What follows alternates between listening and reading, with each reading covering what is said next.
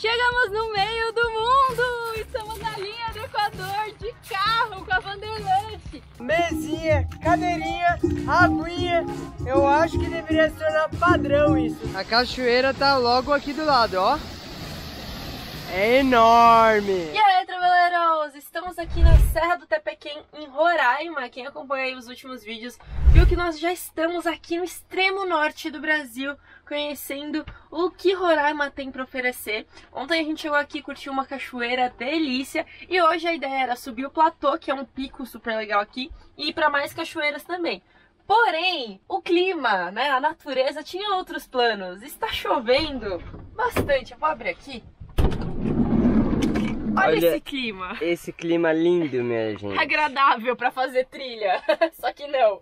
E o mais legal é tá um friozinho e a gente tá até curtindo o friozinho, porque pra quem tava em Manaus, é, Cuiabá, Acre, Rondônia, enfim, várias cidades e estados quentes que a gente passou nos últimos tempos, um friozinho é até bem-vindo, porém para fazer trilha não rola. A gente ainda vai tentar conhecer cachoeiras aqui na Serra do Tepequém, mas a gente abortou a trilha do platô.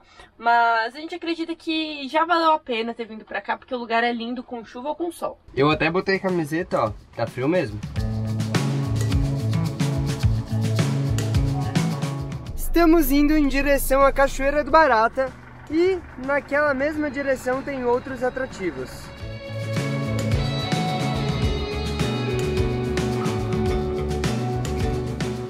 A gente ia seguir rumo à Cachoeira do Barata, só que quando a gente tava na estrada, um moço parou a gente para perguntar se tinha mais pessoas aqui, que ele ia falar para descer, porque tem uma descidona e aí a gente não ia conseguir voltar. Então nós paramos aqui, o Renan tá ali buscando as nossas capas de chuva que estão aqui na traseira da van e a gente vai a pé para dar uma olhada, ver se a gente consegue subir de volta, que senão vai ter que miar o rolê. Esse monte de coisa, menino. Capas de chuva. então vamos colocar a capa de chuva para não se molhar e ver se essa aventura de hoje vai rolar ou se esse clima vai miar mesmo e não vai dar para conhecer nada. Averiguamos a situação e ó, de fato tem uma ladeira aqui. No entanto, o solo daqui tem muita pedra, é muito cascalho, então não é lama, não, não, eu acho que vai dar tração. Então assim, a gente vai, a gente decidiu que a gente vai arriscar, porque a gente acha que sobe. Agora fala assim, tem certeza, certeza? Só testando. Só testando. Então vamos lá. Importante dizer que a gente agora vai só descer mesmo, viu? A, a subida, para saber se vai rolar de subir, é na volta.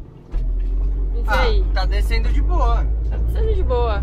Ah, vai rolar, vai rolar, gente. Vai dar bom. Apesar do clima, vai, vai dar certo. É, tinha algumas subidas e descidas, mas conseguimos chegar, deixamos a Wanderlust estacionada ali e vamos seguir para a Cachoeira do Barata, que fica ali atrás, ó. Ali tem uma plaquinha escrito escada, acredito que seja naquela direção. Ah, olha como que é a escada. Acho que é pra lá, estamos ouvindo barulho de cachoeira naquele sentido. E impressionados como aqui no Serra do Tepequém as cachoeiras não pagam para entrar e tem estrutura para você chegar até lá. Melhor do que muita cachoeira paga que a gente já viu por aí. E enquanto a gente desce essa escada, a chuva vai engrossando. Era só uma garoa, agora tá virando chuva de verdade. Gente, o perrengue da chuva à parte, é muito fácil o acesso à cachoeira, é bem pertinho. Olha que cenário louco, essas raízes no chão. Tem uma plaquinha ali falando de camping. Será que a galera acampa por aqui? Acho que sim, é aqui. Acho que é permitido acampar por aqui. Mas o legal aqui que eu achei da cachoeira é tem vários pontinhos para tomar banho. Coisa que ontem a gente estava na cachoeira do Paiva, que era bem mais forte a queda. Achei mais bonita mas não tinha tantos pocinhos que nem essa daqui. É, aqui não tem aquela queda enorme, no entanto, ó como que é. É legal, é mais uma corredeira do que cachoeira, né? Vamos ver ali mais pra frente, tem uma galera ali. A gente viu uma galera vindo lá do outro lado, aí queremos explorar, então o Renan resolveu passar aqui pelas pedras, que a gente não tá muito afim de se molhar hoje não. Vamos tentar só, só o banho de chuva já tá suficiente. Mas ó, tem muita gente mesmo passando aqui. E o Rê tá ali. É legal que ele vai, né? E aí depois eu vou como? E agora? Desse outro lado, mais para baixo tem um poço maior, que aí eu acho que dá para nadar e tem uma quedinha d'água. Mas olha que gostoso esse poço. Bora entrar na água lá? Vamos, vamos entrar na água sim. Já quase morri para atravessar aqui com essas pedras escorregando, achando que eu ia cair. Agora deu vontade de entrar na água, porém não estou com roupa apropriada para isso. Para chegar até aquele poço lá embaixo, a gente tem que cruzar daquela margem ali, se segurando nesse cabo de aço, até de volta para essa outra margem, continuar a trilhazinha e descer. Mas como hoje a gente não está muito afim de entrar na água, vamos voltar. Voltando agora da cachoeira que a gente vai ver, ó, varal cheio. Vamos ver se a Vanderlei é guerreira, se vai subir na manha ou se vai ficar para trás. Eita, as coisas batendo lá atrás. É a vida de motorhome na estrada de terra, mas tá subindo. Ah, o tempo ainda continua instável, chovendo. Na verdade tá estável, não tá instável, tá bem estável. Estável tá na estabilidade de chuva. Verdade. Aí, ó, tirou de letra. Agora vamos para um rolê diferente. Falaram que parece uma cidade fantasma. A gente estava naquela direção, agora a gente vai para lá, sentido Fazendinha do Saraiva. Mas não é lá.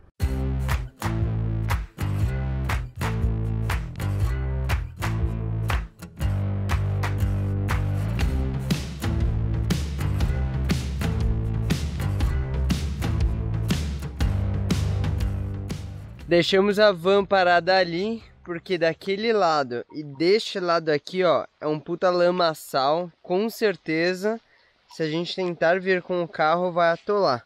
Tá atolando até o chinelo aqui, ó. Então vamos andar para descobrir onde que é essa tal cidade fantasma. Aqui do lado direito tem umas casas, mas aparentemente não tem ninguém. A gente está indo atrás de umas ruínas. Mas tá meio difícil de encontrar. Vamos atravessar essa pontezinha? Não tem coragem não. Não? Ah, é ponte de ferro, Leis.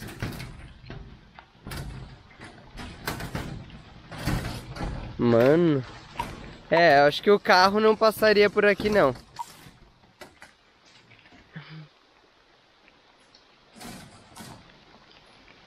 Tá tudo bem dá medo aqui embaixo não é água, tipo, funda. Se cair, você cai no chão mesmo. O problema não é se afogar, é quebrar as pernas. É. No final eu encontrei uma pessoa ali nessa casa aqui atrás e viemos pro sentido errado. A gente entrou para a direita, na verdade é pro lado esquerdo. De volta aqui na Wanderlust, vamos andar para lá. Só cuidado aí para não afundar o pé, hein, Laís? Quase ficou. Andamos, andamos e não deu em nada. A gente queria chegar nas ruínas, mas chegamos na entrada de alguma cachoeira aqui, mas tá fechado. E vamos voltar tudo até o motorhome e tentar ver se a gente perdeu alguma placa. Só porque eu tava elogiando que tava super sinalizado as cachoeiras, as ruínas não estão tão fáceis assim de encontrar. Acho que tá fazendo jus a, a esse nome que eu falei, hein, de Cidade Fantasma. E volta os cães arrependidos, não era nem para um caminho nem pelo outro. A gente passou sem nem ver, as ruínas estão ali atrás. Isso aqui é o que sobrou da antiga vila do Cabo Sobral. Dizem que moravam mais de mil pessoas aqui. E hoje em dia não mora nem 20. A gente andou por aqui meio vazio mesmo, meio cidade fantasma. E a moça que explicou pra gente que a gente estava no lugar errado, comentou que aqui são as ruínas de uma antiga prisão é a única coisa que resta hoje, porque o resto já foi explodido ou implodido, né? É, já Algo foi tudo tipo. demolido. E antes, essa vila aqui era uma vila de garimpeiros, como a gente comentou nos outros vídeos. É, Roraima, né, ele cresceu muito, Boa Vista, vários municípios daqui, por causa do garimpo, com o Tepequém não foi diferente. Inclusive, várias das cachoeiras que tem aqui elas foram modificadas com o garimpo, por causa de explosões e tal. Não são totalmente naturais da forma que elas são. E... Bom... Olha isso. É isso, gente. Essa é a cidade fantasma, os antigos garimpeiros. Vamos entrando aqui no meio do mato para mostrar um pouco mais de detalhes para vocês aqui, ó, do que restou. Essa aqui é a antiga prisão. Hoje só tem um, uns entulhos prisionados aqui, ó. Segundo batalhão, alguma coisa, não dá para ler.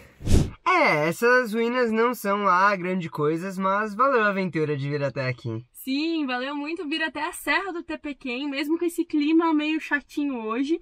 Valeu também, a gente conheceu ontem uma cachoeira, hoje mais uma, a gente sabe que tem muito mais coisa para fazer, mas estamos com um tempo curto, então vamos voltar sentido Boa Vista, pegar a estrada agora. Já se inscreve nesse canal, deixa o seu like e até a próxima, Traveleiros! Até!